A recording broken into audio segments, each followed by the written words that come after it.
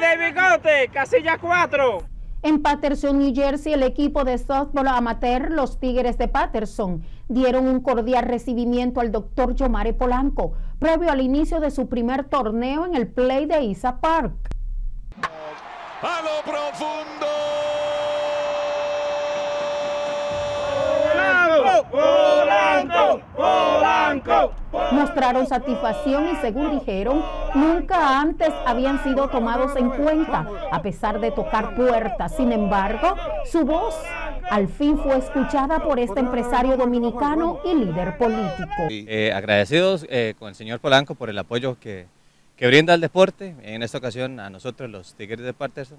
Vamos a hacer el mayor esfuerzo posible que está dentro de nuestras posibilidades para poner en alto el nombre pues, y agradecerle primero a Dios y al señor Polanco por la oportunidad y, y el gesto tan, tan noble que brinda el día de hoy. Hemos estado trabajando a través de todos estos años, más de dos décadas, con todos los gremios, en todas las áreas, dígase deporte, arte, cultura, profesionalismo, eh, comerciantes, etcétera, mujeres, envejecientes, jóvenes, estudiantes, academia. Hemos estado con todos, con los científicos.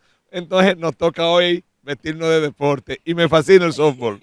Gracias por todo, por el candidato. Estamos aquí activos, locos por jugar. Que vengan los ¿Dónde está el otro equipo? Vamos a jugar, vamos a jugar. Bien, gracias a Dios. Thank you for everything. Nosotros estamos aquí, vamos a jugar. Cabe agregar que estos deportistas además expresaron a Polanco una inquietud que para ello es muy importante y solicitaron de su ayuda para lograrla y es que aún no cuentan con el permiso oficial para poder seguir adelante en sus prácticas en el play de Isa Park. Por esta oportunidad, sinceramente, muchas gracias. Estoy ready aquí para jugar. Eh, ahí tenemos su foto representando. Muchas gracias. Estamos activos, estamos activos, ready para jugar. Para sorpresas de todos, de inmediato su petición fue escuchada por el concejal de Patterson y aspirante al mismo cargo, Luis Vélez. Y al igual que Polanco, asegura que hará las diligencias y solicitudes a la ciudad para lograr ese permiso que tanto anhelan.